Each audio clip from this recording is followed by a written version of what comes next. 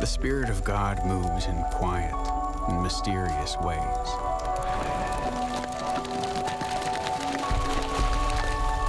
In and through us, like the breath we breathe. He's always been there, using our broken past for His purpose. Only look back to remember when He provided for you. He's here, now, moving in our midst. Live in His present. Be a light and leave behind where He was to follow His lead. He's waiting for you to step out in faith and into the unknown to join Him. Trust Him with your future and fear not, for He is with you, you from the darkness and carrying you into His light. Rejoice in confidence as you watch Him transform the spaces around you and rest in His perfect peace, for He is with us. Well, good morning, Cornwall Church. It is good to have you here uh, in the building. Of course, those of you who are joining with us and worshiping online, thank you for being with us. Those of you in uh, Skagit, so glad that you're here today. The, the group down in Belize, uh, just great to be able to be together uh, as we go enter into this Christmas season. Before I start my sermon, I do want to mention uh, this last Friday. Uh, I want to say a very big thank you to those of you who are involved in Cornwall at the mall. What a tremendous time! Great outpouring of your generosity. Great to be together, and many of you online participated participated with the Amazon uh, wish list, and just want to thank you so much for that. And in Skagit, I understand that the, uh, the Cornwall Toy Lane was just outstanding on Friday night. What a way for us to bless the community. Just want to again thank you for that. Well, we are full on into the Christmas season now, and probably in your life or family or you know circle, there are some Christmas traditions that you're a part of. I mean, for us here at Cornwall, the Cornwall at the Mall and the Toy Lane and, and that's kind of a part of our tradition. You have your own traditions in your own family, and maybe, maybe one of the traditions that you have is as a family or as an individual, you watch certain Christmas movies every year. There are certain ones that you're just like, this is part of our whole deal, and and I mean, it can be anything. I mean, there's so many, you know, claymation and animation and Hallmark's 24 7 of I'll just be careful because my mom might be watching right now. But there are comedies and there are classics, 34th Street, you know, all that. And there's the ongoing debate is Die Hard really a Christmas movie? I, I know all that. And maybe one of the movies that you watch is one that's been a, a Christmas tradition, really, for a, not the movie necessarily, but it's been a part of a Christmas tradition for 178 years. Because in 1848, there was a novella published by a man named Charles Dickens. It was called A Christmas Carol. 178 years. And in those 178 years, A Christmas Carol, listen to this, has never ever been out of print. I don't know if you've ever known anyone who's an author or tried to have something printed. It's never been out of print, which is phenomenal. And over those 178 years, I mean, it has been in print, obviously, but it's been movies, it's been stage productions, it's been ballets, it's been operas, it's been musicals, it's been animated, it's been Muppets, it's, I mean, it's everything. And, and, you know the story, basically, that there's this, this crotchety old guy, Ebenezer Scrooge, whose heart is smaller than the Grinch's heart. And he, on Christmas Eve, he's visited by three ghosts the ghost of Christmas past, the ghost of Christmas present, and the ghost of Christmas future. And because of those visits from these ghosts, his perspective is changed. His perspective of himself, his perspective of others, his perspective of life is changed, and he's transformed because of that. And we decided this year, leading up to Christmas Eve, uh, that we would kind of loosely hang our Christmas series on that whole idea of Christmas past, Christmas present, and Christmas future.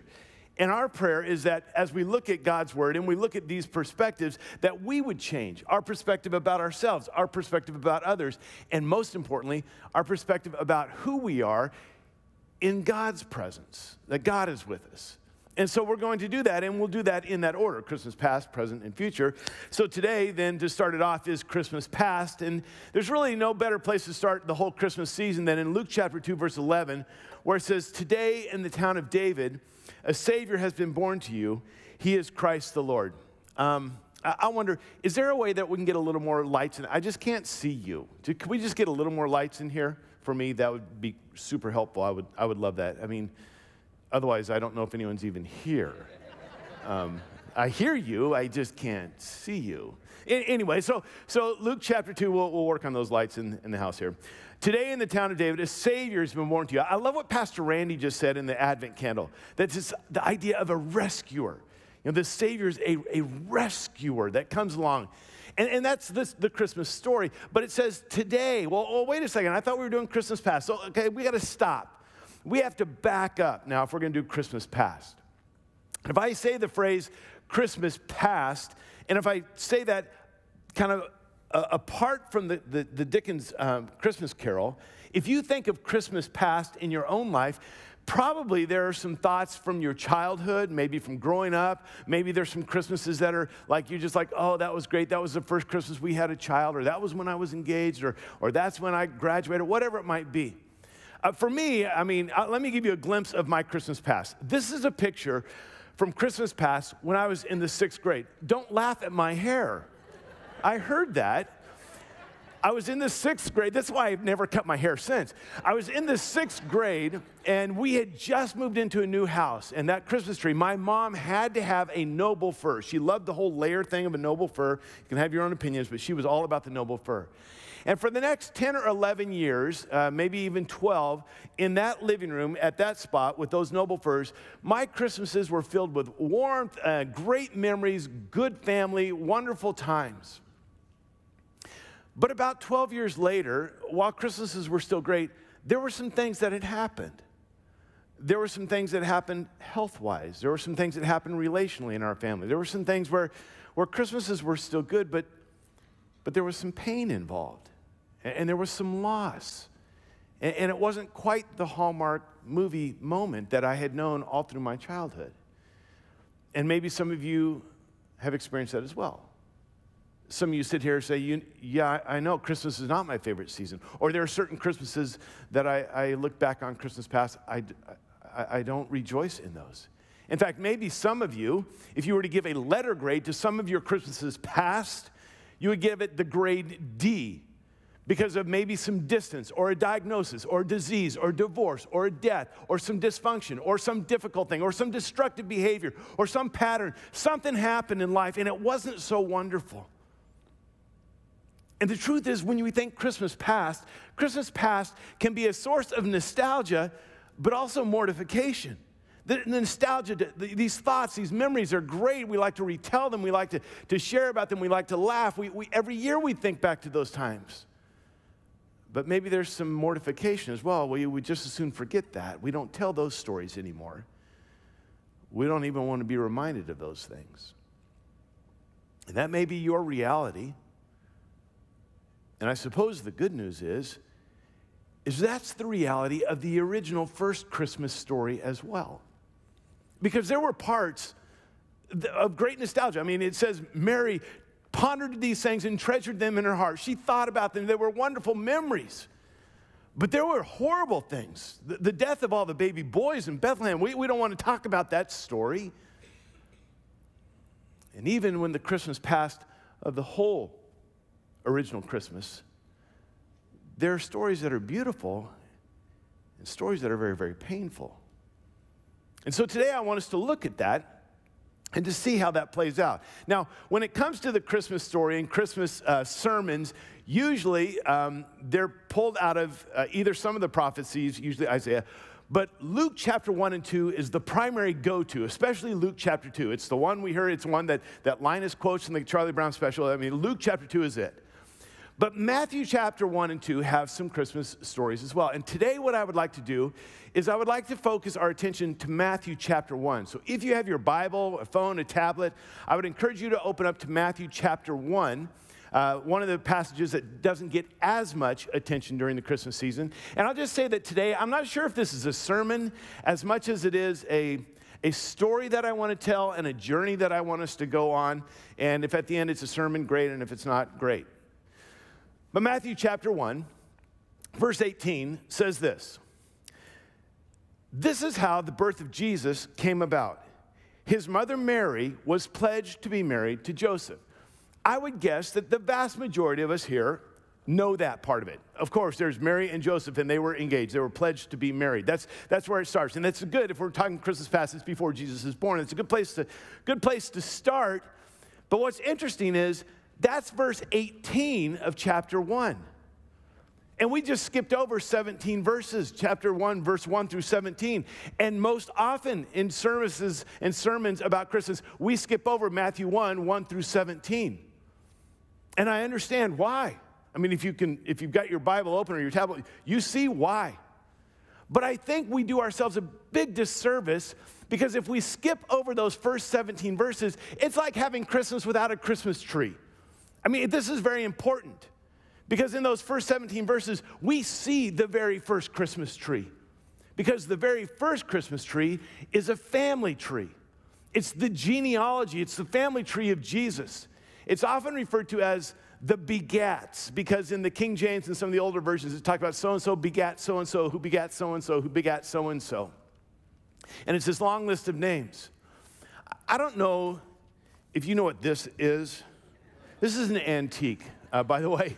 Uh, true story, you know, we had some young musicians up this weekend. Yesterday, I said, Do you guys know what this is? They just looked at me like, No?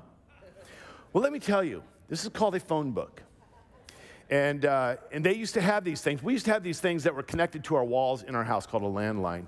But in a phone book, there's just page after page of names and numbers. And this is how we used to try and find out someone's phone number. Had these things. And to be quite honest, to sit down and read it would be terribly, terribly boring. It's just like name after name, names we've never heard of, names we might not be able to pronounce, names we don't, we don't know. And Matthew chapter 1, 1 through 17 reads somewhat like a phone book. In fact, Dr. Ray Bakke, he, he referred to it as, as a cemetery tour because you're going through generations of dead people. That's why we don't normally read Matthew 1, 1 through 17. That's why there's not a lot of sermons about that. That's why it's not our favorite scripture when someone says, What's your favorite part of, of the Christmas story? Matthew 1, 1 through 17, just can't get enough of it. It's so rich, deep. Love it. See, for us, it seems boring, it seems lifeless, it seems useless, it seems like filler. But let me tell you why it's so important. One is that it shows that the Christmas story is not just some story in a galaxy far, far away long ago. It's not just a once upon a time. It's rooted in history. And this is the climax of a bigger story. It's, it's the pinnacle. It's what everything points to, and it is rooted in history. It's real. In the Jewish mind, genealogies were so important. It was like your resume, it, it, was, your, it was your credentials. It validated you. This is who I am. This is who we are. It was very important in the Jewish mind.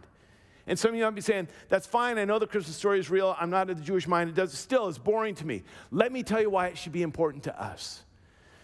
Because what I hope to show you today is that as we look into this genealogy, into this first family tree of Jesus, we see a very deep and important theological truth that has profound personal implications for each one of us.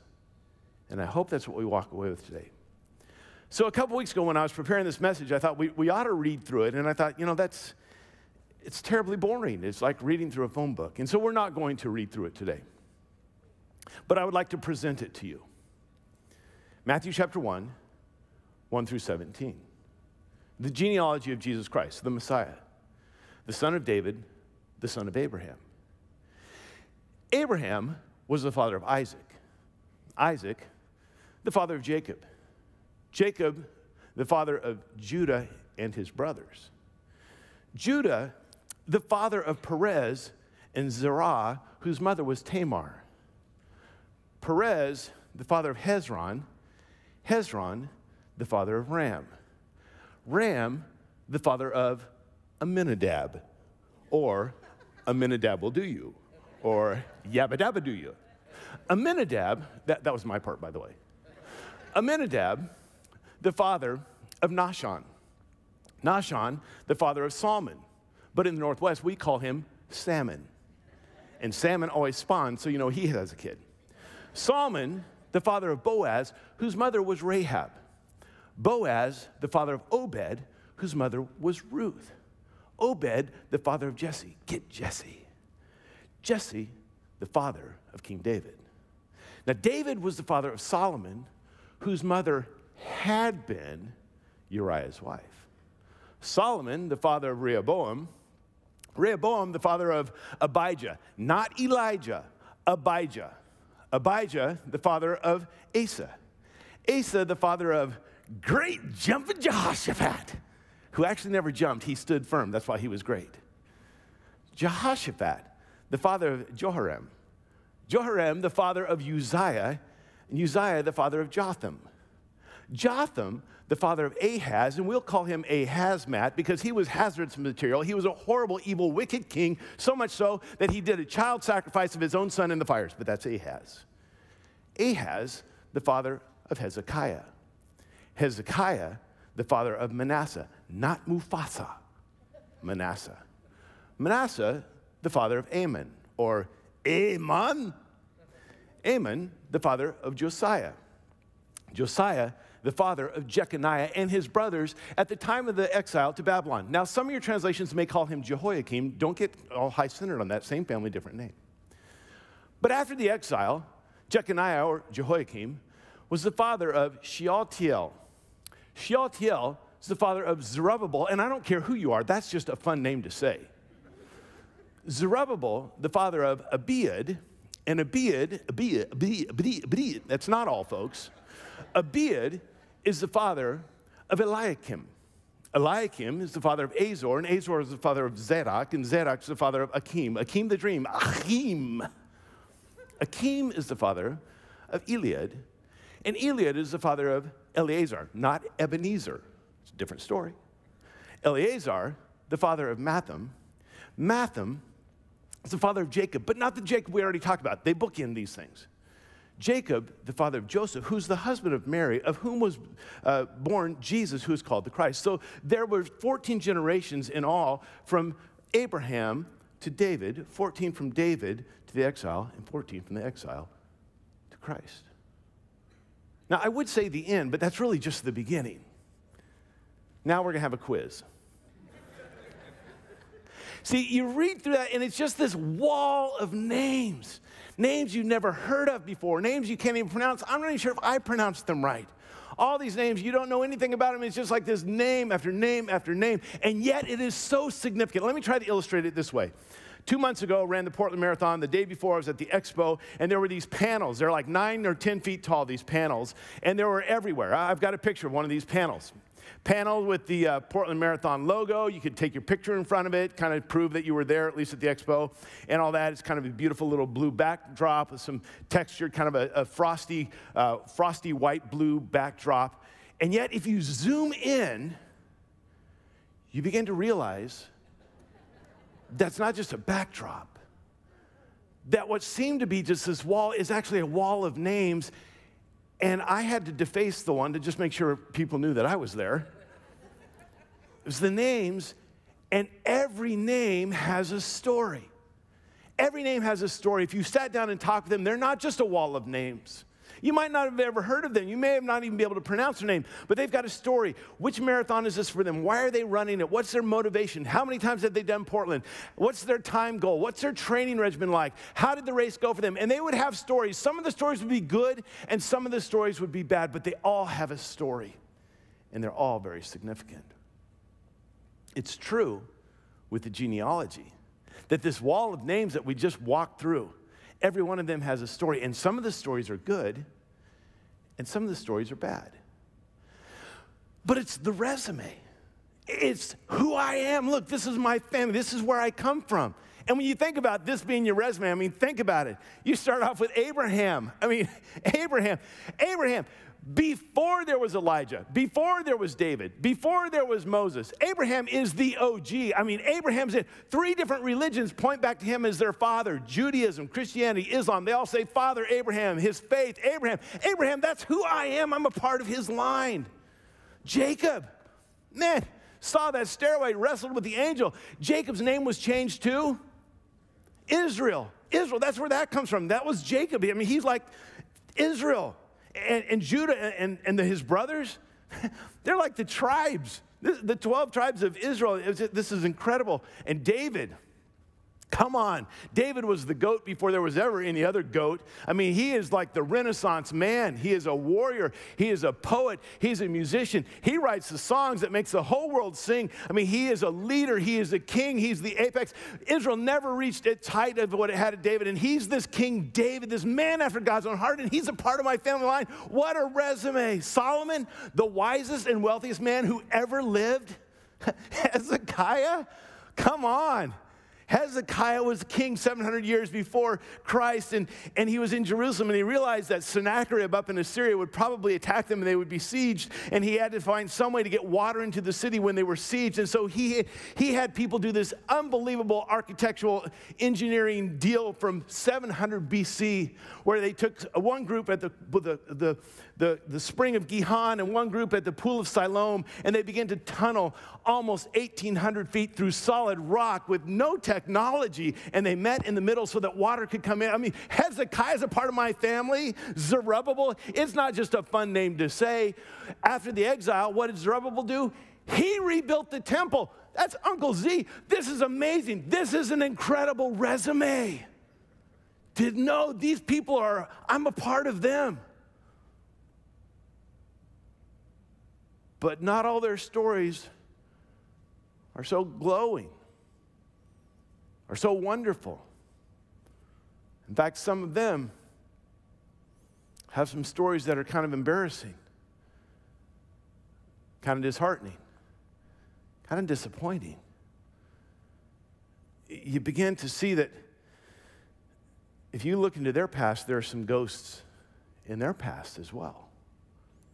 I mean, you've heard times where they say the names have been changed to protect the innocent. These names have not been changed. These names were listed to expose the guilty. And it's like the nightmare before Christmas. So let me just take us on a journey through this all again. Let's talk about Abraham. Yes, the father of religions. Yes, his faith. But if you recall, twice Abraham lied about his wife to save his own skin. Told she's beautiful. Told him, hey, that's not my wife. Don't kill me. That's my sister. Man, Abe, don't put on any kind of marriage seminars. Don't take your marriage advice from Abe. And when she can't get, preg- can't get pregnant, you know what he does? He sleeps with this young Egyptian servant they have. And when she gets pregnant, he allows her to be mistreated by Sarah. And years later, when they have their, finally have their son, Isaac, Abraham, this deadbeat dad, lets Ishmael go on his own. It's Abraham. Not a very glowing picture.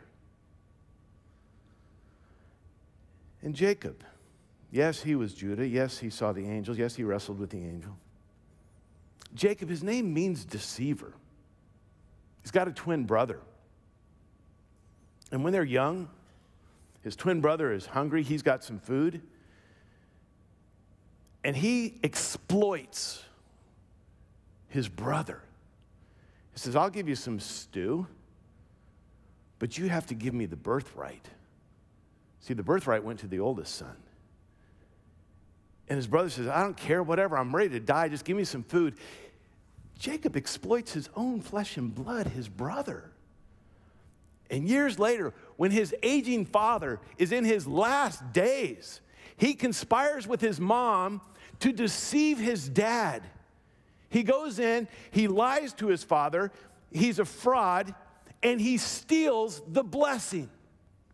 This is Jacob. He's He's exploited his son, uh, his brother. He's stolen the birthright. He's deceived his dad. He's co- uh, collaborate, collaborate. He's gotten in partnership with his mom to do this against his dad. And then, and maybe this is just kind of a little bit of, I know we don't believe in it, karma. But this deceiver, Jacob, when he decide, decides to get married to the love of his life, I shouldn't smile on his wedding night, his father in law swaps out the older sister for the one that he loves. He wakes up in the morning like, What's this? How did I get married to her? Tough to be a deceiver, isn't it? Judah. Now, and why does it say Judah and his brothers? Because they're the t- tribes? Yes, yes, yes. But maybe that's not it. Judah and his brothers, one of their brothers they didn't like so much because he was daddy's favorite. Got this really cool coat. Joseph. In fact, the Bible says they not only were jealous of Joseph, they hated Joseph. And they found a way, as he was getting away from his dad, they found a way, they plotted to kill him. And it's only because of Reuben, the oldest, that, that, that his life was spared. But they threw him down in an empty well and they began to have lunch as they were preparing to kill him. And then one of the individuals, Judah, has an idea.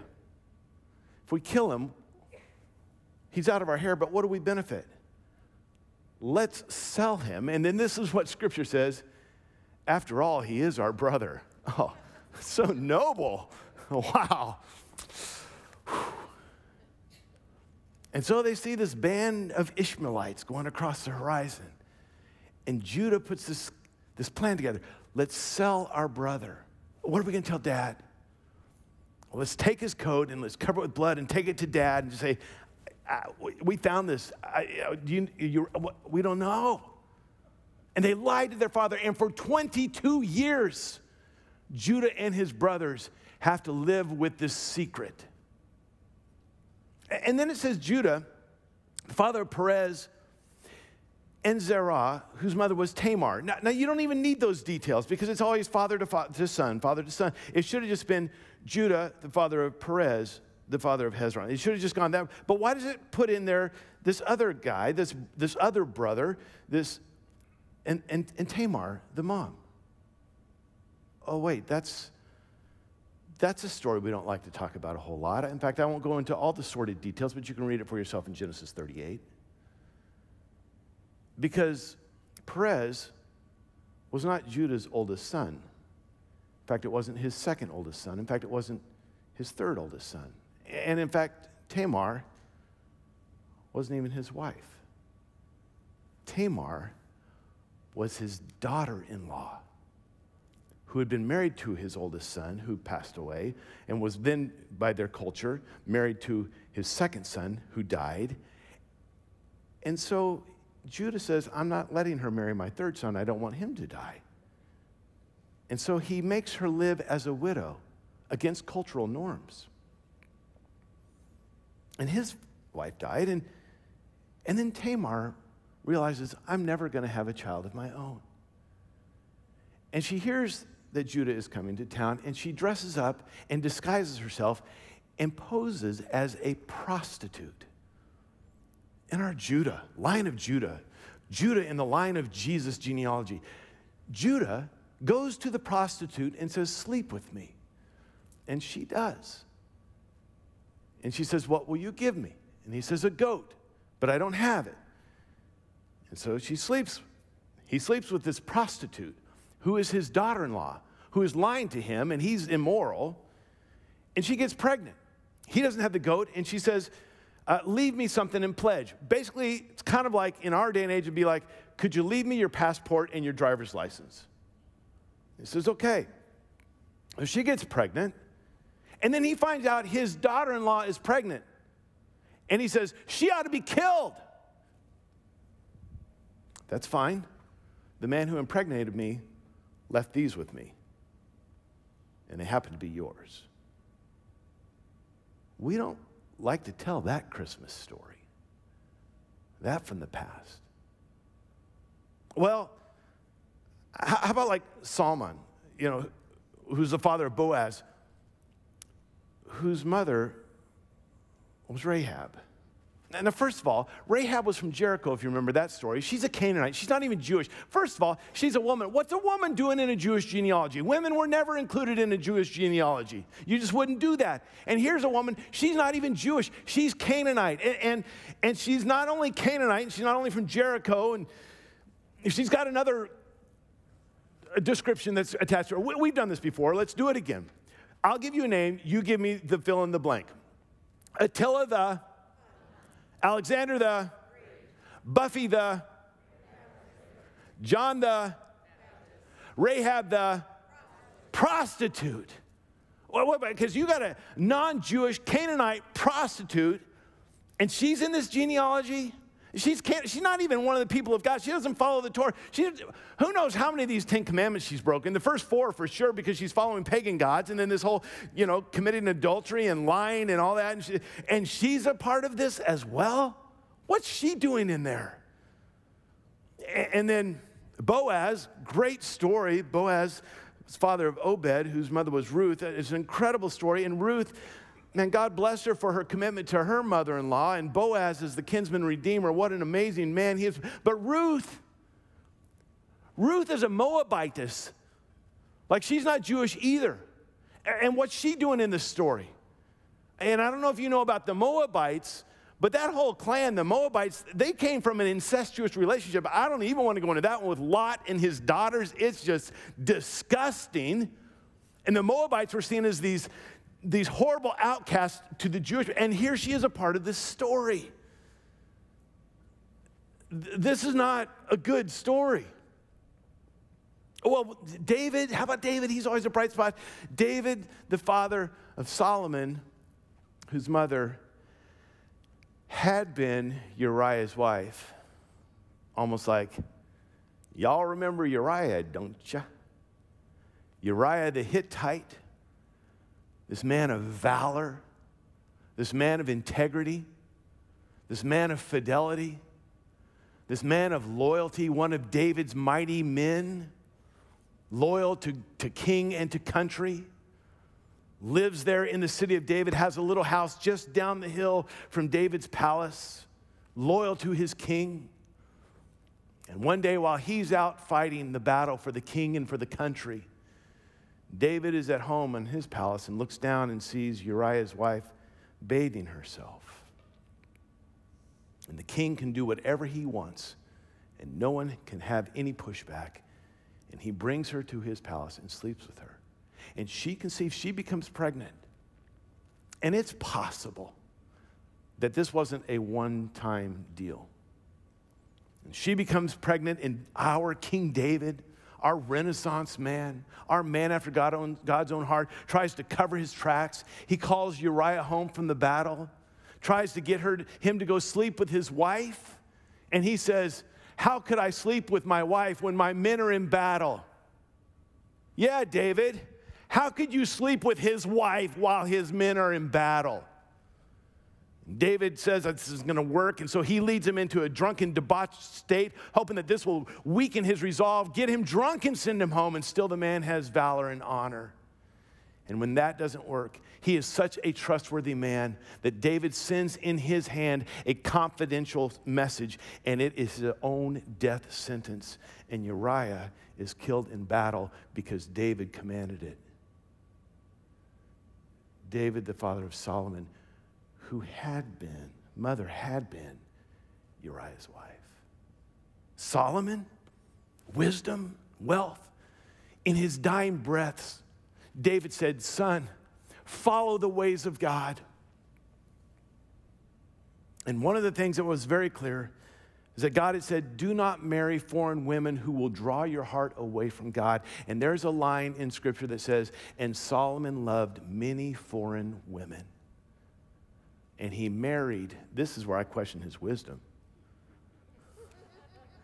700 wives.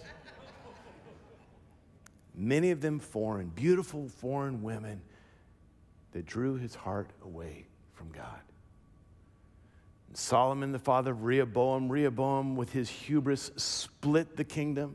I told you about Ahaz. Shall I go on? We could go on story after story after story. I mean, these people in the resume, uh, to quote the old, old song, they're gypsies, tramps, and thieves.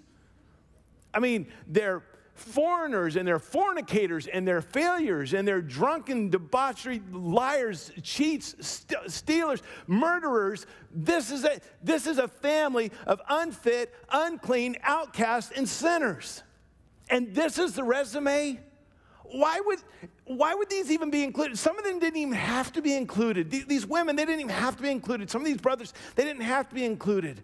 I mean, if this is your resume, this is not the kind of stuff you want on your resume. You, you want to expunge those from the record.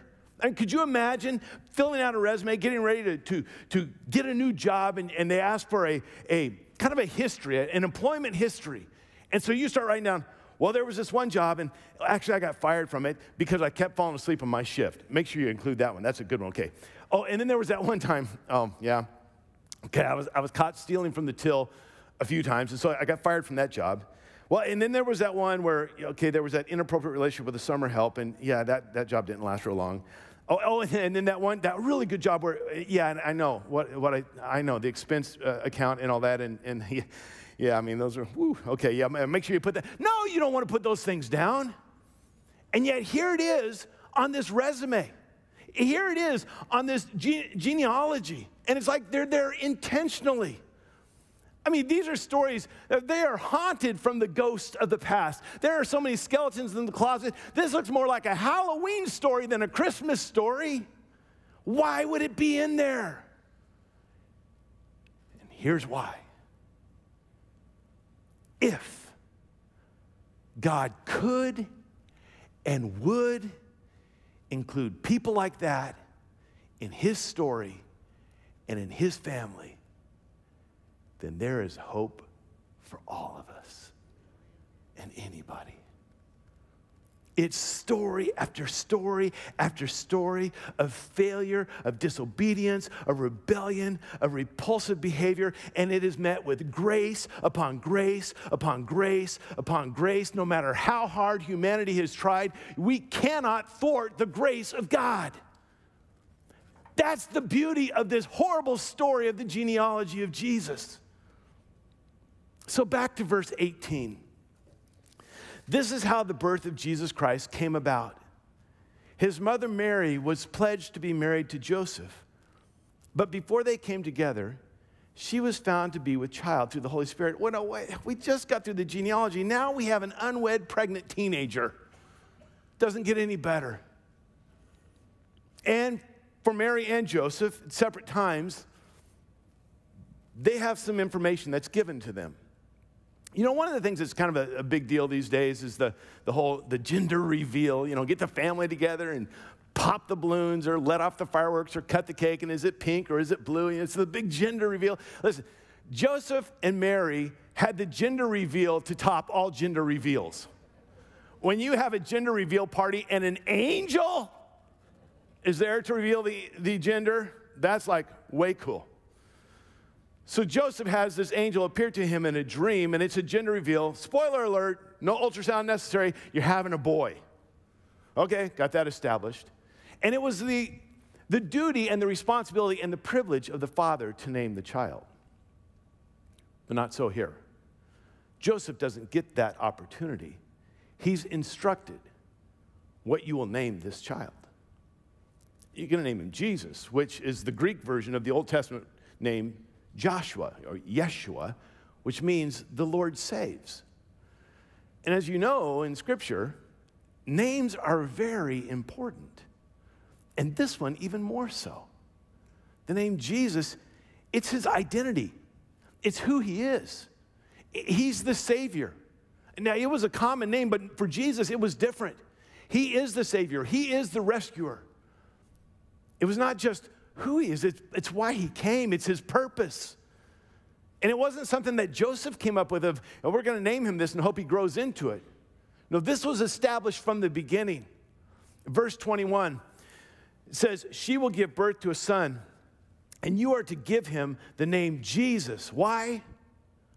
Because he will save his people from their sins. His people, his family his lineage. See, maybe all of those misfits were put in that not in spite of their sin, but precisely because of their sin. Because it illustrated from the very beginning this is why we need a Savior. Abraham needed it, Jacob needed it, David needed it, they all needed it, we need it. This is the story of Christmas. To give to sinners and outcasts what they can't do for themselves what we can't do for ourselves. And hear me out, it's not in any way glorifying their sin. It's not justifying their sin. It's not rationalizing it. It's not watering it down. It's not downplaying it. It's not excusing it. I think in this genealogy, it's spotlighting their sin to magnify God's grace. And what does Paul say? Should we go on sinning so that grace may abound? By no means. We've been saved from that. But our ghost stories becomes God's grace story. And Jesus would say later in Matthew chapter 9, For I have not come to call the righteous, but sinners. See, Jesus comes from a long line of sinners, and he comes for a world of sinners. And sinners that he accepts and forgives and adopts and brings into his family tree. Takes our broken stories and makes them part of his redemption story. From this broken family to being this family of grace, from the hall of shame to this wall of the fame of God's grace and goodness. Hebrews chapter 7 says, Therefore, he is able to save completely those who come to God through him because he always lives to intercede for them. Always lives. That sounds like present tense, so that's next week, so we better stop. But this is the truth about every single one of us, and this is the beauty of the Christmas story, and this is the beauty of the genealogy, the first Christmas tree, the family tree is knowing all of our skeletons, all the ghosts that we're haunted by. He still chooses us, He still includes us, He still allows us to be a part of His family. He knows you and He chose you. And when we live in that reality, it can allow us to be transformed to know that everybody on the face of this planet and especially those who aren't like us, don't think like us, don't believe like us, don't vote like us, don't live like us, don't be, any of that, that no one is outside the reach of God's grace. If He could do what He did through Matthew 1 1 through 17, He can do it in our lives, He can do it in our world. And to live in that reality for ourselves and for those that we have contact with every single day. The Christmas past. It's not just ghost stories, it's a grace story.